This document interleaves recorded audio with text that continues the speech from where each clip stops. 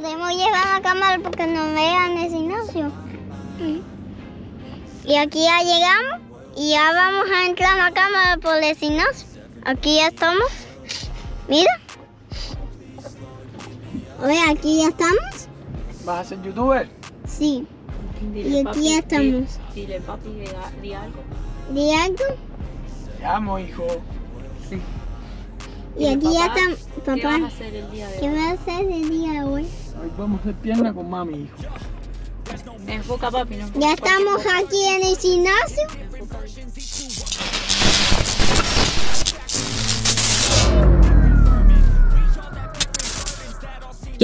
Bueno, hoy les traigo un entrenamiento de rodilla mocha, este entrenamiento que estuve haciendo el otro día con Melina, estaba entrenando con ella y dije, vamos a llevar la cámara y vamos a grabarnos, que hace muchísimo tiempo, primero que no entrenábamos juntos, segundo que no me grababa, no tenía idea de cómo me estaba viendo yo físicamente así desde un video, porque hace muchísimo tiempo no me veía entrenando y decidí hacerlo en un entrenamiento de pierna porque mucha gente me dice, Green, ¿cómo tú llevas lo de tu rodilla? Con los entrenamientos, cómo haces para entrenar piernas, por ejemplo. Ahora mismo yo estoy entrenando piernas aproximadamente dos veces por semana. Una cosa quiero decirles, no me sigan a mí, porque este entrenamiento que yo estoy haciendo ahora no es el entrenamiento que yo hacía, por ejemplo, ni es el entrenamiento con el que gané masa muscular en las piernas, ni nada parecido. Sigue siendo un entrenamiento que creo que es decente, pero no me parece un entrenamiento que de ninguna de las maneras sea demasiado exigente. No lo es. Es un entrenamiento que normalmente siempre estiren un poquito, calienten un poquito, utilicen pocos pesos, hagan un poco ahí de hiperextensiones y todo esto con poquito peso, calienten siempre. Luego lo que hago son cuatro series donde no me puedo castigar demasiado. Y lo llevo al fallo, pero es mi fallo. Cuidado, no tiene por qué ser el tuyo. En el caso de que vayas a imitar mi entrenamiento, porque yo juego básquet y corro también a la misma vez, aunque entrene pierna. Entonces tienen que entender que esto es un entrenamiento funcional. Aquí no estamos hablando de un entrenamiento que como quiera que sea, sí va a existir. Hipertrofia es evidente, pero no es un entrenamiento ni para fuerza ni para hipertrofia, sino más bien un entrenamiento funcional. Es un entrenamiento para mí, para mantener precisamente los cuádriceps fuertes, para que me cuiden las rodillas, porque aunque no lo parezca, el cuádriceps fuerte, como quiera que sea, el femoral fuerte, todos los grupos musculares de las piernas fuertes, pues ayudan en la rodilla. A mí ha sido increíble el cambio que me ha hecho. Un tiempo que yo dejé de entrenar piernas por los dolores y me di cuenta que empeoraba.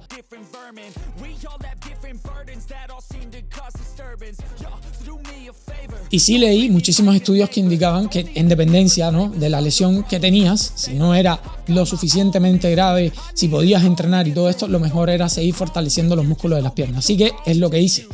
Inteligentemente, yo voy al fallo, pero siempre de la pierna izquierda. Tienen que tener eso en cuenta porque es la rodilla que tengo mala. Entonces, cuando la derecha está fresca como una lechuga, la pierna izquierda está pidiendo agua por seña. Está diciendo mamá clarita y papá enredado. Está mal la pierna izquierda porque ya me empieza a molestar. Así que lo que hago es eso. Cuando la pierna izquierda me empieza a molestar, ese es el fallo. El fallo de mi pierna izquierda. Casi siempre voy a pasar de 10, 15, 20 repeticiones. El rango que yo más o menos muevo es entre 10 y 20 repeticiones. ¿Por qué lo hago? Porque nunca esfuerzo la rodilla al máximo. No me vas a ver entrenando piernas nunca a 5 o 7 repeticiones, nunca. Como si hago con otras partes corporales nunca me vas a ver entrenando las piernas a ese punto. Voy rápido, esto es un entrenamiento funcional para una persona que no tenga la rodilla muy bien. O la rodilla o depende de tu lesión y todo esto. Este es mi entrenamiento y creo que todo el mundo debería adaptar su entrenamiento si tiene una lesión a sí mismo. Y además también de alguna manera ver doctores y todo esto. Lord, give me a sign, a sign.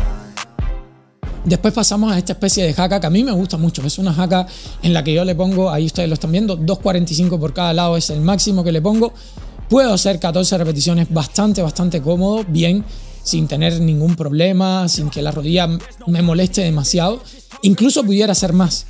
A veces me dejo 3-4 repeticiones en la recámara, es para no poner la rodilla en una situación en la que, bueno, esté al límite. Entonces, como no quiero llevar la rodilla al límite, me dejo siempre 3, 4, incluso 5 repeticiones, ¿por qué no? En la recámara. Siempre. De ahí, que bueno, hago 4 series, igual voy aumentando el peso paulatinamente. No es que llego, le pongo 2.45 por lado y arriba, dale, muévete. No. No, yo llego, voy subiendo el peso paulatinamente hasta llegar a ese peso y luego en ese peso ya empiezo a hacer mis repeticiones. A partir de ahí, pues cuentan las repeticiones. Después pasamos a otra máquina, que es una máquina que me gusta bastante, es como una especie de prensa, pero es interesante. Se van a dar cuenta aquí que yo en ningún momento voy a estar haciendo sentadillas. Las sentadillas las hago con suerte una vez cada dos, tres meses y con un peso muy light. Lo máximo que le pongo son 100 kilos a la sentadilla. Jamás y nunca más que eso. Hago 8 o 10 repeticiones y ya está con 100 kilos y subiendo muy paulatinamente. Esto lo quiero dejar bien claro porque hay gente que dice, oh Green, en algún momento te he visto haciendo sentadillas. Una vez al año. Capaz que alguien va al gimnasio, me ve haciendo un día sentadilla. Eres un mentiroso, estás haciendo sentadilla. Por eso lo digo. La sentadilla la utilizo una vez cada mil años porque no quiero obviar la mecánica del ejercicio ni que mi cuerpo de alguna manera se acostumbre a no tener ese tipo de mecánica que al final es una mecánica que se utiliza en la vida diaria.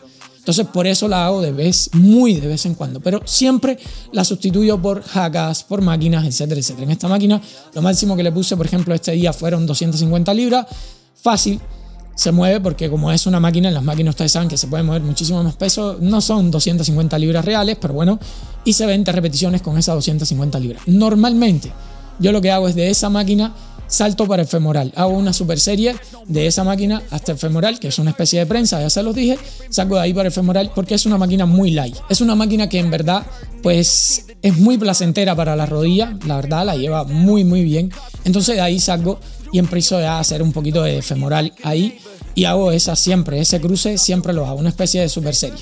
Igual, el femoral lo llevo suavecito, suavecito. Aquí ni siquiera me van a ver haciendo femoral porque en ese momento las máquinas estaban ocupadas. Melina no me pudo grabar. Bueno, un tema. A partir de ahí, el quinto ejercicio que hago, que ya sería el último, es un poco de tijera. Generalmente, los días que hago piernas, hago cinco ejercicios. Me gusta hacer cinco ejercicios, no sé, ese número me gusta y hago estas tijeras que hago, depende, los pasos que tú quieras dar, la cantidad de pasos que tú quieras dar, no sé cómo le digan a las tijeras en tu país, en Cuba le decimos tijeras y ya está. Eso sería todo para la pierna. Siempre estirando muy bien. Luego cuando llego a la casa corro aproximadamente una hora. Por eso les digo, no imiten todo mi entrenamiento ni nada parecido. Simplemente les quería mostrar qué es un entrenamiento para mí funcional. Quizás hay gente que lo ven y van a decir, Green, eso es una basura de entrenamiento lo que estás haciendo ahí. No has hecho sentadilla, no has hecho peso muerto. Excelente. El peso muerto a mí sí me revienta la rodilla. Es un ejercicio que prácticamente no lo utilizo nunca. La sentadilla no me la revienta tanto, por eso la utilizo cada cierto tiempo. Y entiendo que me lo digas. Porque sí, si yo me comparo con el green de hace 7, 8 años, que le metía bastante peso a un montón de movimientos de esto, pues lo entiendo. Ahora mismo no lo puedo hacer, pero adapto mi cuerpo precisamente y adapto los pesos y adapto los movimientos a mí, a la situación que tengo actualmente yo. No tienes por qué imitarlo. Si tienes un problema en la rodilla, sí te recomendaría que primero visitaras a algún doctor, alguien que te dijera, bueno, no es nada grave, intenta entrenar un poquito y poco a poco vayas subiendo la intensidad. Poquito a poco vas subiendo la intensidad, tu capacidad de entrenamiento va a ir mejorando. Van a haber otras personas que me van a decir, oh, no me jodas, es tremendo entrenamiento, yo nunca entreno tanto.